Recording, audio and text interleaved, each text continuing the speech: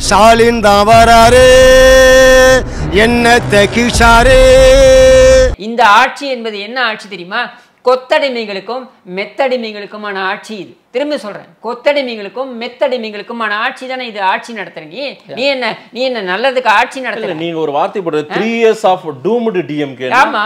டூம்டுனா என்ன சொல்ல வர்றீங்க நீங்க? ஆமா மூன்று ஆண்டுகள் இருண்ட ஆட்சி நடந்து கொண்டிருக்கிறதுன்றதை நம்ம சொல்றோம். விடியா ஆட்சின்னு நான் சொல்றோம். மீடியா நம்ம கையில இருக்கிற வரைக்கும் நாம எது வேணா சொல்லலாம் என்ன வேணா செய்யலாம். வணக்கம். பல்வேறு துறைகளில் ஆகச் சிறந்த ஆளுமைகளை சந்தித்து நாம் நேர்காணல் எடுத்து வருகிறோம்.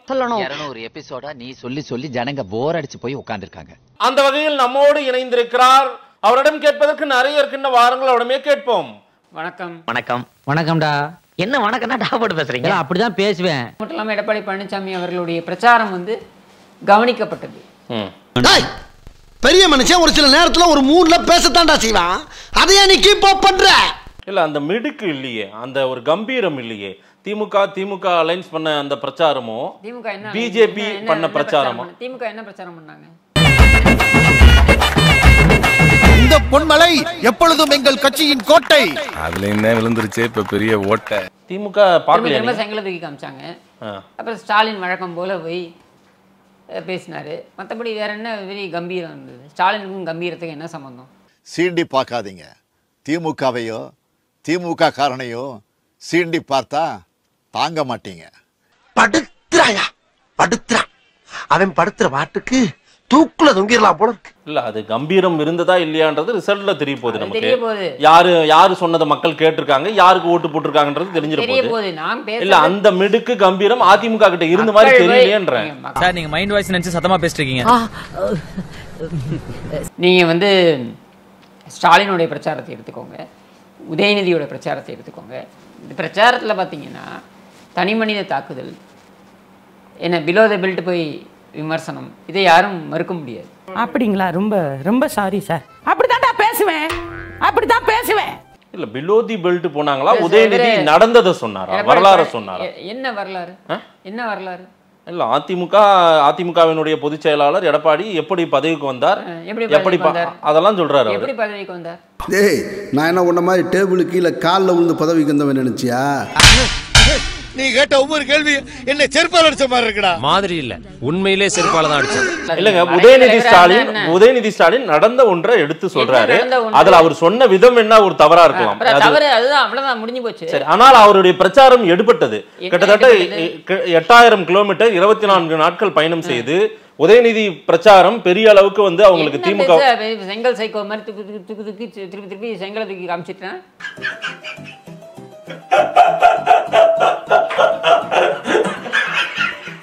மூன்றாண்டு என்ன சாதனை இப்ப மூன்றாண்டு என்ன முடிஞ்சு நான்காவது சாதனை மூன்றாண்டு சாதனை என்ன வேதனை ரோதனை கேலி பண்றீங்களா ஆமா கேலி தான் பண்றேன் வேற என்ன உன்னுடைய மூன்றாண்டு சாதனை என்ன சொல்லுப்பா திக்கட்டும் ப- புகழ் பரப்பி இருக்கு திராவிட நாயகருடைய ஆட்சி அப்படின்னு என்ன சொல்லியிருக்காங்க புகழ் பரவி இருக்கு. மண்டைய வச்சு அண்டா குடு அப்படி நாளொரு திட்டம் பொழுதொரு சாதனைன்றாங்க. அதுதான் சொல்றேன். நாலு ஒரு பிரச்சனை என்ன பொழுதொரு வேதனை. தானே உன்னுடைய ஆட்சி? வேற என்ன பெரிய இது? இல்ல ஸ்டாலின் என்றால் செயல் அப்படின்றாரு. அது பொய்ங்க. அது பொய் உண்மையா கிடையாது. So, இது வந்து சொல்லாட்சி இல்ல செயலாட்சி. நான் வந்து செயலாட்சி நடத்துற மக்களுடைய சந்தோஷம். மக்கள் ம- மக்கள் மகிழ்ச்சியா இருக்கிறத பார்த்தே என்னுடைய ஆட்சியின் சாதனைகள் நீங்க எல்லாம் என்ன தெரிஞ்சுக்கணும். மகிழ்ச்சியா இருந்துட்டாங்க மக்கள்? சொல்லுங்கப்பா தெரிஞ்சுக்கலாம். I just want an answer to this simple question இவர் என்னத்தை அப்படி கழட்டிட்டார்? என்னத்தை அப்படி பிடிக்கிட்டாரு? இதுல வேற வந்துட்டு முத்துவேல் கருணாநிதி ஸ்டாலின். முத்துவேல் கருணாநிதி ஸ்டாலின். அது என்ன முத்துவேல் கருணாநிதி ஸ்டாலின்? இது என்ன ராஜ ராஜ ராஜ குலத்துங்க ராஜ மார்த்தாண்ட அப்படின்னு வரா மாதிரி. அது என்ன முத்துவேல் கருணாநிதி ஸ்டாலின்? இப்படி ஒரு புள்ள உங்களுக்கு தேவையா? என் புள்ளையா இருந்தா எலி மருந்து வச்சு கொண்டு போடுவேன் ஒரு நிமிஷம் நம்ம இருக்கிறது என்ன? ஜனநாயகம் தானே? ஆமா. அப்புறம் என்ன? முத்துவேலர் என்ன? அப்படியே புதுக்கோட்டை ஜமீன் அஞ்சுகத்தம்மா சித்தூர் மகாராணி. நோ நோ நோ நோ என் அம்மா அவளுக்கார மம்மி பாவம் மம்மி பாவம் மம்மி பாவம். டாடி பாவம். நோ ஒன்லி புட் இருவருக்கும் பிறந்த தட்சிணாமூர்த்தி என்கிற பட்டத்து இளவரசர் கருணாநிதி பிறக்கும் பொழுதே தங்க பிபியுடன் பிறந்து விட்டார். இந்த சம்பவத்தை நினைக்கும் பொழுது எனக்கு நகைச்சுவை உணர்வு ஒன்று. இவ்வளவு காரி துப்பிய சந்தோஷமா நகைச்சுவை வருதுன்ற பத்தியா அவருடைய மகன் அப்படியே பட்டத்து இளவரசர் ஸ்டாலின் அவருடைய மகன் பட்டத்து இளவரசர் உதயநிதி அவருடைய மகன் பட்டத்து இளவரசர் அஹ், இன்பநிதி இப்படின்னு சொல்லிட்டு இந்த நிதிகள் எல்லாம் வந்து இங்க கோலோச்சறதுக்கு என்ன மன்னர் பரம்பரை ஆட்சியா இங்க நடக்குது. எங்க குடும்பமே அப்படித்தான்டா அசிங்கத்தை பத்திலாம் கவலைப்பட மாட்டோம். படக்குன்னு காலில் விழுந்துருவோம். மக்கள் ஆட்சி தானுங்க குடும்பத்தை விமர்சிக்க வேண்டாம். உன் குடும்பத்தை தான் விமர்சிப்பேன். ஏன்னா இது என்ன முத்துவேல் கருணாநிதி சார் ஸ்டாலின் பேர் ஒரு பிரச்சனையா? உங்களுக்கு? ஆமா பேர் தான் சார் அவர். ஆட்சியில் என்ன பண்ணிருக்காருன்னு விமர்சனம். அவர் திட்டத்துல பிரச்சனை பெரிய. பிரச்சனை? பேர் இன்னும் பெரிய பிரச்சனை. முத்துவேல் கருணாநிதி ஸ்டாலின் என்ன பெரிய பரம்பரை? உன் பெரிய பரம்பரை. நான் கேட்கறேன். உன் பரம்பரை பத்தி எனக்கு தெரியாது. புதைச்ச பணத்தை தோண்டி காசு எடுத்து தின்ன பையன் தானே நீங்க? கேடுகட்ட பரம்பரை தானே? இதெல்லாம் ஒரு விமர்சனமா? கும்பல் தானே நீ? வித்தவுட் டிக்கெட் பரம்பரை தானே உன் பரம்பரை? எரியுதடி மாலா. ஃபேனை போடு. இதுல என்ன பெரிய அப்படியே பெருமை. அந்த பெருமையெல்லாம் எவன் கேட்டதீங்க என்னத்தை கிழிச்சுட்ட நீ? நீ சாதிச்சதெல்லாம் என்னடா? காலையில ஒரு செட்டு பழைய சோறு ராத்திரிக்கு ஒரு செட்டு சுடுசோறு தின்னு வயித்து சட்டி மாதிரி வச்சிருக்க. ஏய் மவனே நீ வயசுல பெரியவனா இருக்கலாம். ஆனா நான் உன்னை மதிக்க மாட்டேன். வேலைக்கு போனாலும் போகாவிட்டாலும் நம்ம பெற்ற பிள்ளை கொடுக்காவிட்டாலும் ஸ்டாலின் எங்களுக்கு மகனாக கொடுக்கிறார் அப்படின்னு சில பெண்கள் பேசுறதா அவங்களுடைய செய்தித்தாளில் போட்டிருக்காங்க. அந்த சில பெண்கள் யார் தெரியுமா. துர்கா ஸ்டாலின் கிருத்திகா ஸ்டாலின்.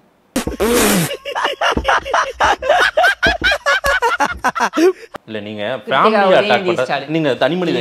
நீங்க அரசை அரசை இல்ல, இவ்வளவுதான். சார் நான் அரசின் திட்டங்கள் கேட்கும்போது? நீங்க அவங்க குடும்பத்தை இவங்க. எல்லாம் பெண்கள் இல்லையா? சார் அவங்களுக்கு எல்லாம் ஆயிரம் ரூபாய் போறதில்ல சார். அவங்களுக்கு ஏன் ஆயிரம் கோடி போகுது? அவங்களுக்கு ஏன் ஆயிரம் ரூபாய் போக போகுது?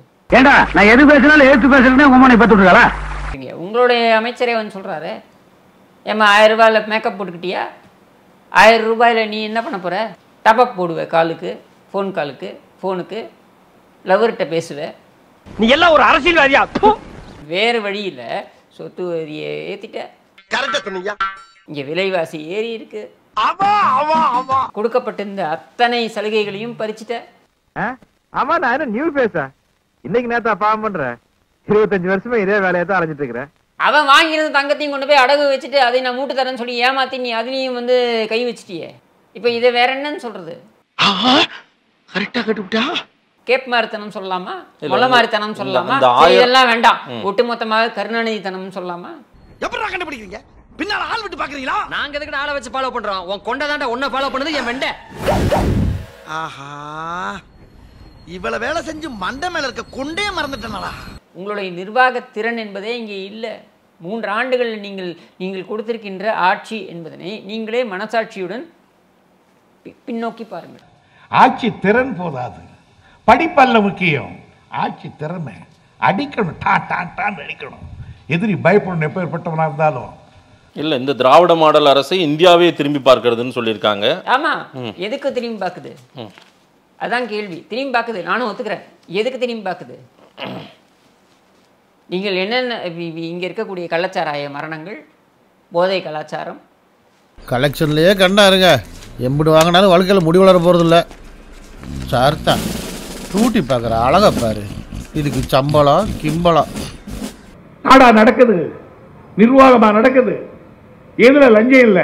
சமத்துவமா இரு ஏய், சமூக நீதி எல்லாருக்குமான இடஒதுக்கீடு நான் கொடுக்குறேன். நீங்க- எல்லாருக்குமே அதிகாரம் கொடுக்குறேன்னு சொல்றாரு ஸ்டாலின். நீங்கள் தயாநிதி மாறன் கொடுத்துருக்கீங்க கனிமொழி கொடுத்துருக்கீங்க உதயநிதி கொடுத்துருக்கீங்க இப்போ அடுத்தது கிருத்திகா கொடுப்பீங்க அடுத்தது இன்பநிதி கொடுக்க போறீங்க. எல்லாருக்குமான சமூக நீதி அரசாங்கத்தை நீங்கள் கொண்டு வரப் போகிறீர்கள் உங்கள் குடும்பத்தின் அடிப்படையில். நான் கேட்கறது என்னன்னா இந்த சமுதாயத்தின் அடிப்படையில் சொல்லுங்க. ஏன் படி நான் தான் நிறைய பண்ணிட்டு இருக்கிறேன் அதானுங்கண்ணா நீங்க நிறைய பண்ணிட்டீங்க. உங்க குடும்பத்துக்கு. ஜனங்க பட்டினி தானே கிடக்குறாங்க? அரசியல்ல இதெல்லாம் சாதாரணமாப்பா.